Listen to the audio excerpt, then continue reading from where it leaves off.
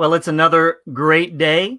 Thank you for taking a moment out of your day just to dive into the Word of God and allow His Holy Spirit to encourage you as it relates to what we've been going over in our previous teachings about the blessing of God.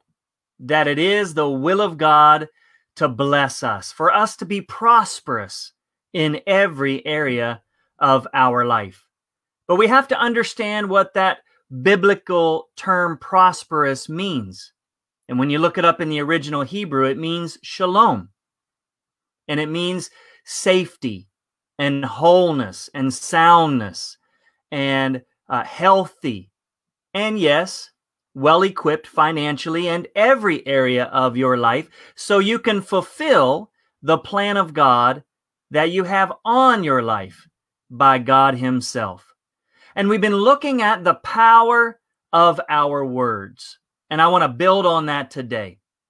So today's episode is the faith that takes the answer. The faith that takes the answer. And so I hope that you'll join us today as we dive into specifically the book of Mark, chapter 5. So if you have your Bible, I encourage you to get it out Open it up to Mark chapter 5. Don't just take my word for it. Let's look at the Bible and let's see what God says about faith. Because we've been dialing into the importance of your words and not just using any old words or idle words. No, we are supposed to speak intentionally. We are supposed to think intentionally. And I want to use uh, this lady in the book of Mark to demonstrate the importance of how we think and how we speak. Because remember, we've been looking at this particular thought God's blessing upon our life.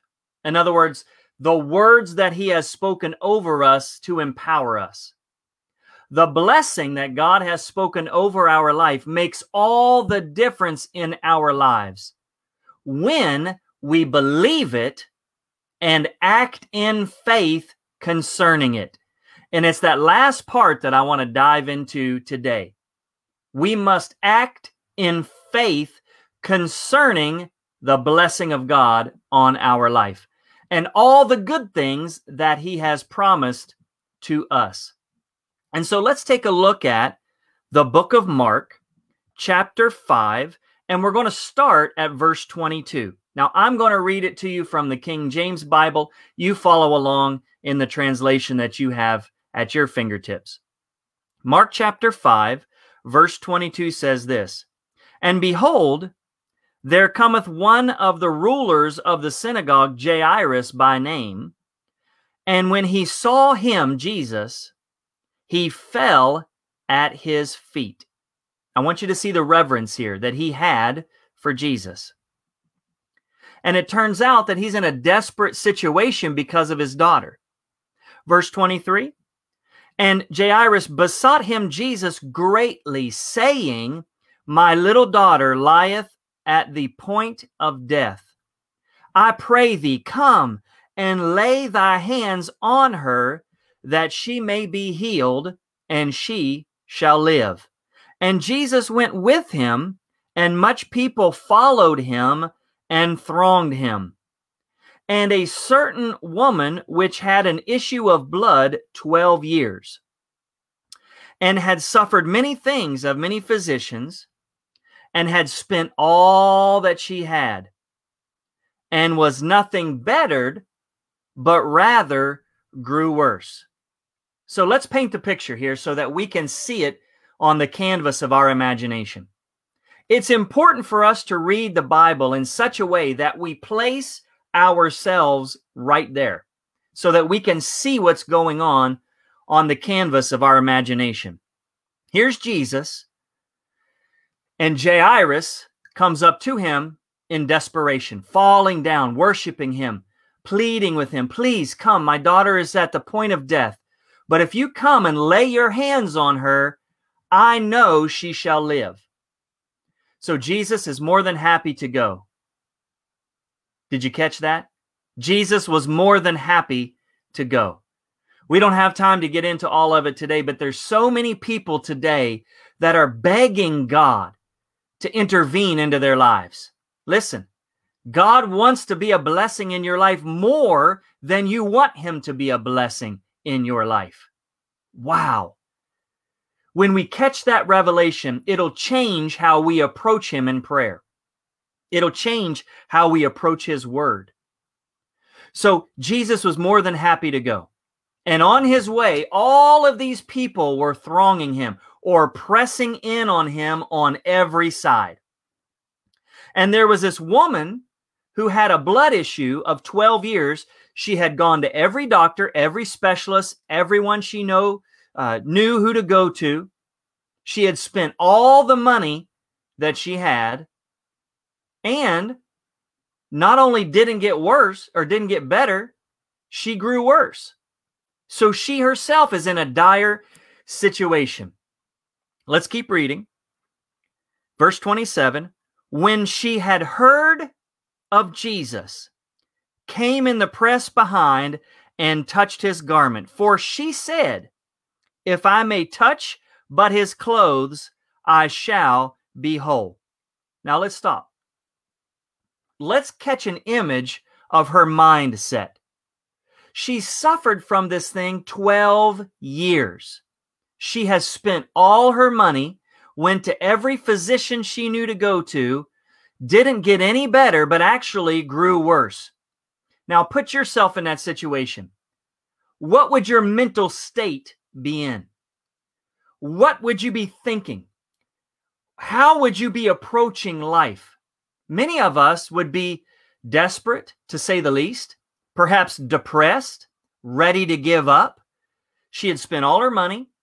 She had gone to every means that she knew what to do, and she was hopeless.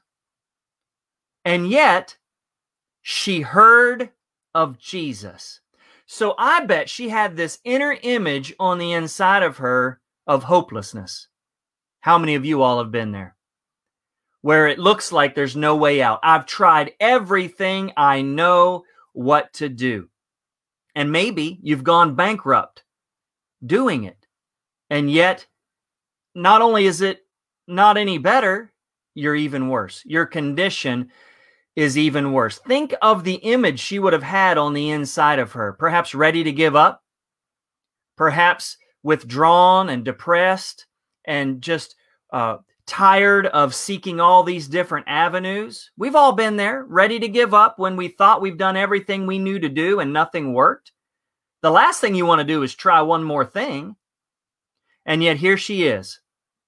Something got her up and out of the house. Something caught her interest to try one more time. She heard of Jesus. Well, listen, Romans, Romans 10 17 says, faith comes by hearing and hearing the word of God. So she heard something different than she had been hearing before. She heard the truth. She heard of the miracles that Jesus had been performing. She heard about this man that was going around serving others, being a blessing, and healing others and getting results. And she went into the press, all the people pressing in on Jesus and thronging him and, and pressing in on every side, and touched his garment. And verse 28, because she had said, circle that in your Bible. She had said, uh, if you look at it from the Berean Bible, the Berean Bible says, for she kept saying. The NET and uh, uh, International Standard Version, I believe, say something similar. She kept saying, she kept saying, well, what did she say? If I may touch but his clothes, I shall be whole. She kept saying, she kept saying, if I can just touch his garment, if I can just touch his clothes, I know I'll be whole. If I can just touch his garment, I know I'll be whole.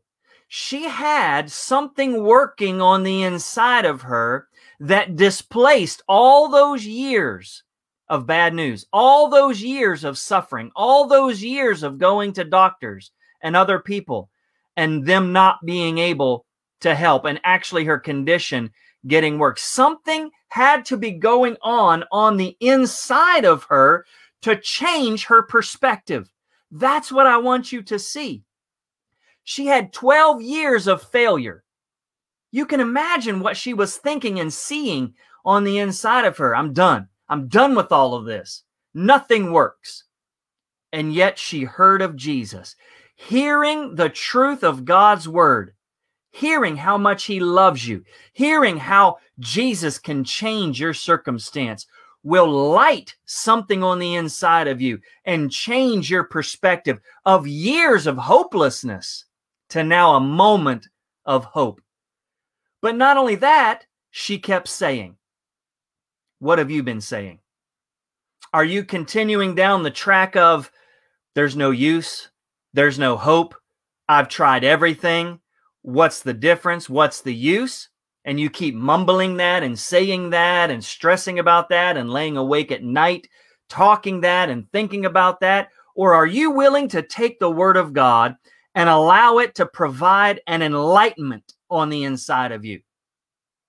Have you ever heard the term, it dawned on me? Well, that's because the light of the glorious gospel comes bursting in and displaces all the darkness, hopelessness, worry, fear, unbelief, doubt, and awakens us to something that was there all along, but we never saw it before. That's what revelation is. It reveals a truth that's been there all along, but it was hidden from us. Your adversary wants to hide the truth from you. So he darkens our minds, he darkens our eyes so we can't see it. But with the help of teaching that's anointed like this, teaching from the anointed word of God, it dispels the darkness. And with the help of the Holy Spirit, he can awaken us to something that though we've been suffering for many years, all of a sudden, now we can catch a truth that we it will change how we see things It'll change how we speak. And it changed how she spoke, for she kept saying, she kept saying, if I can just get to him, if I can just touch his garment, I know I'll be healed. I like to think of it like this. Have you ever went into your living room or someplace in your house that had carpet? And on a dry day, maybe in the wintertime, you rub your feet on the carpet and you rub your feet on the carpet and then you touch something and it shocks you? I like to think of it like that she paced her house, saying, If I can just get to him, if I can just touch his garment, I know I'll be healed. If I can just get to Jesus, I know I'll be healed. If I can just touch his clothes, I know he'll I'll be healed. And it's like she's building up a charge, scooting her feet on the carpet, but it's within her. She's uprooting all those years of heartache, all those years of disappointing news, all those years of hurt, all those years of pain, and she's getting to this place where she's in faith. And she says, if I can just get to him. She got to the place where she pushed into the crowd. Now, you have to understand in this day and time, that wasn't necessarily the thing to do for a woman in that society, but she didn't care. She was ready for her answer. She was at a place of faith where she had kept saying, if I can just get to Jesus. And some of you, that's what you need to say today. Forget what you've seen, forget what you've gone through. You need to get a word from God and just keep saying it. If I can just get to Jesus. Well, we have access to him because as his uh, as the Father's child and we've received Jesus as our Lord and Savior, he's in us now. So we don't have to get to Jesus. We have to get a revelation of what Jesus wants to do for us. Amen. Hallelujah because we have to change the way we think and the way we see. Remember Mark 11 23? Whoever, well, you and I, we fit into that category because a whosoever is a whosoever. We're, we are a whosoever. Whoever says to this mountain, well, for her, this issue of blood was her mountain. Whoever says to this mountain, be removed and be cast into the sea. So there's power in your words. Just like there's power in her words if I can just get to him and touch his garment. Well, whoever says to this mountain, be removed and cast into the sea, here's the other part. Do not doubt in your heart, but believes that those things that he says will be done will have whatsoever he says. And we've been looking at this truth. The God kind of faith, the faith that God operates with, the faith that he used to create the universe and everything in it, the God kind of faith requires that we believe in our heart, so no doubting, no wavering, that what we say will come to pass, then we will have what we say. So she got rid of all the doubt and unbelief in her heart because she kept saying, she kept saying, and uprooted all those years of pain and disappointment and put something else in her heart. What was it? The truth of God's word. I've heard all these great things about Jesus. And if I can just get to him, I know I'll be healed. Amen. Well, it goes on to say in verse 29 and straightway or immediately the fountain of her blood was dried up, and she felt in her body that she was healed of that plague. And Jesus, immediately knowing in himself that virtue had gone out of him, turned him about in the press and said, Who touched my clothes.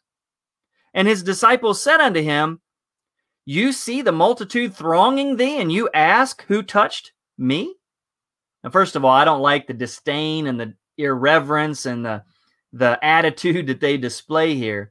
But they're basically saying, Jesus, come on. All these people are thronging you. There's everybody pressing in on you, and everybody's touching you, and you ask, Who touched you? And that's a principle that I want you to see. Why weren't they healed? I'm sure they had things going on in their life. They're touching him. They're probably touching his body, not only his clothes, but touching Jesus himself. Why weren't they healed? Why didn't they get their answer? Because there's a difference about knowing who Jesus is. There's a difference about knowing Jesus himself. You have to know it's His will to bless you. You have to know it's His will to heal you. They didn't touch him with a touch of faith. She did. She had gone about her house. If I can just touch his clothes, I'll be healed. If I can just touch him, I know I'll be healed. If I can just get to Jesus, I know. She had intentionality in her heart and boldness in her actions. And because she kept saying it, she acted on what she believed on the inside and she took her answer. Glory to God. Too many people today are approaching God the wrong way. Amen. Too many people are begging God to do it.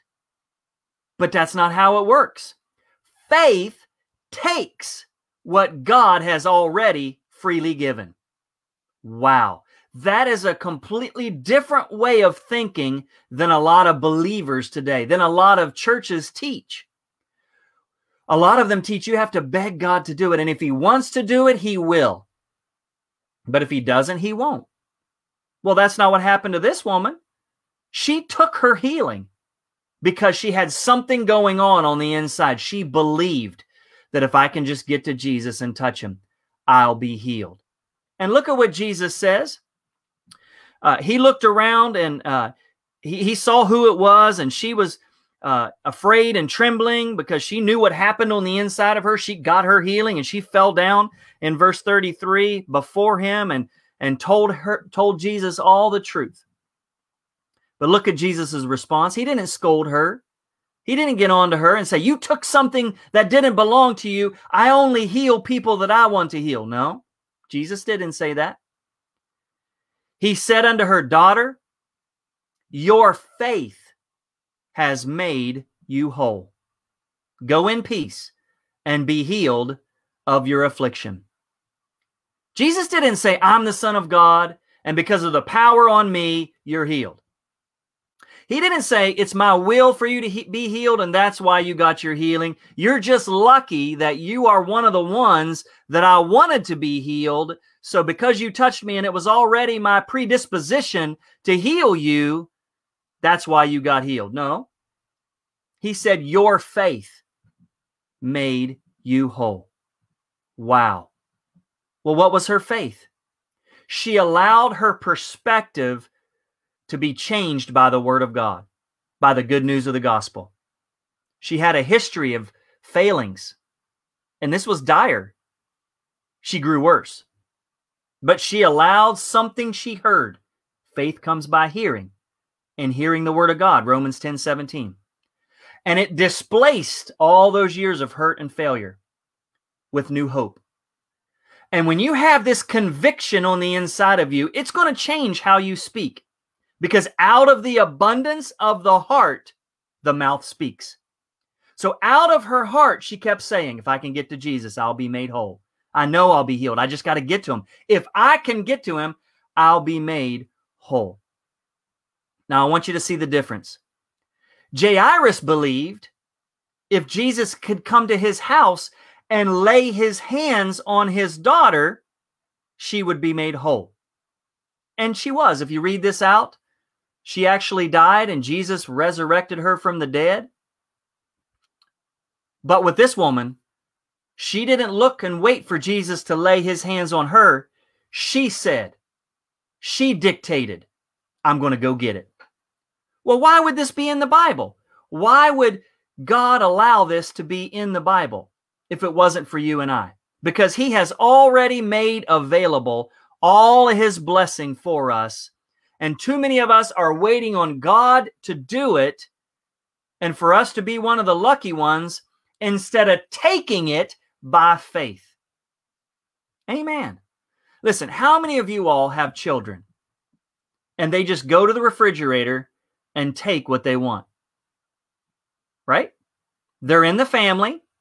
They know what they're allowed to have. And because of this knowing, they act on what they know. And yet, we're happy to do it as parents because it's they're in the family, they're our children. We want to provide for them, we want them to be well. And we've given them access, and they're happy to go take what they want to take, and we're happy for them to do it. How much more our Heavenly Father? When the scripture says, How will He not also freely give us all things because He's already given us Jesus? It's already yours. He's already blessed you with every spiritual blessing in heavenly places. But do you believe it? And are you speaking it? And are you acting on it by taking it by faith? She took it by speaking it out. And yes, she had to physically go to Jesus and touch his garment. But there's other instances where they just told Jesus, just speak the word, and I know they'll be healed. And that's where we are today. He has already spoken it in his word. We just have to believe it and we have to take it by faith. Faith doesn't beg God to move, to do it. He wants to do it. Jesus paid the price for it. Faith takes it because it's already freely given to us. Wow. Can you see how she allowed her perspective to be changed? She aligned her words with what she wanted from God, and then she acted on it. That's why we have this prayer that the Lord gave me years ago. Our words are important. They're how we access the promises of God. That's how you got into the kingdom. You believed in your heart and you confessed out of your own mouth Jesus is Lord. That's the way we operate in the kingdom and access all the things the Heavenly Father, our Heavenly Father who loves us, has already provided for us. So we can pray this prayer Lord, help me not to use my words to criticize, complain, condemn, but rather help me use my words to compliment, construct, and commend. There's power in your words.